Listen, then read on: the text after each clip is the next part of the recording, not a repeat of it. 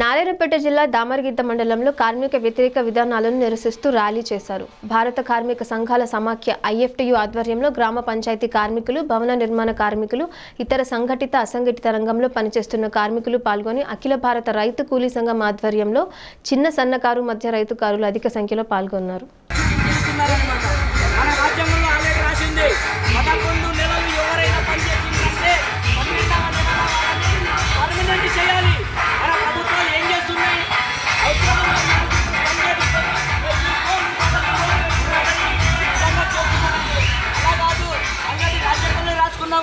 వీళ్ళనందరినీ permanent చేసి కనీస వేతనం అనేది ఒకటి ఉంది.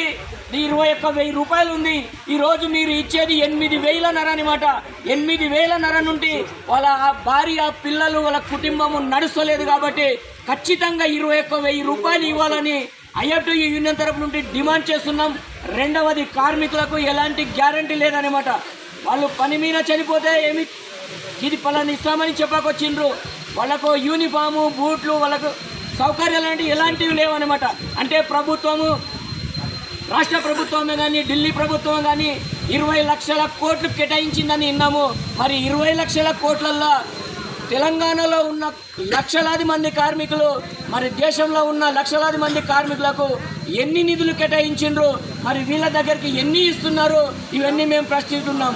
నిజంగా చెప్పాలంటే ఈ కార్మిక చట్టాలనే కూలదోయడానికి అంటే వాళ్ళకి ఎనిమిది గంటలే పని ఉండాలి వాళ్ళకు పిఎఫ్ బండు సర్వీస్ అలాంటివి ఉండాలి. అవన్నీ చేస్తున్నారా? లేదు. మీరు తక్షణమే వీళ్ళకు పండు సర్వీసు అలాంటివి వచ్చేటి విధానాలు తీసుకురావాలి. వాళ్ళు రిటైర్ అయినాక వాళ్ళ జీవితం సేఫ్గా ఉండాలని ఇలాంటి విధానాలని వాళ్ళు కాలరాస్తున్నారు కాబట్టి దానికి వ్యతిరేకంగానే ఈరోజు దేశవ్యాపిత సర్వాధిక సమ్మెకు పూనుకున్నాం. అదేవిధంగా రైతుల సమస్యలు మన గవర్నమెంట్ సన్న రకం వడ్లు పండియనని చెప్పింది సన్న రకం వడ్లకే తక్కువ ధర పెట్టింది. ఉన్న పంటలు ఎవరు వేసుకుంటారో తెలియదు ఎక్కడ ఎలా తెలియదు దినానికి పత్తి అమ్ముకునిగా పోతే దినం పది టోకెన్లే ఇస్తారంట. అంటే ఊరికి పది మందే ఉన్నారా?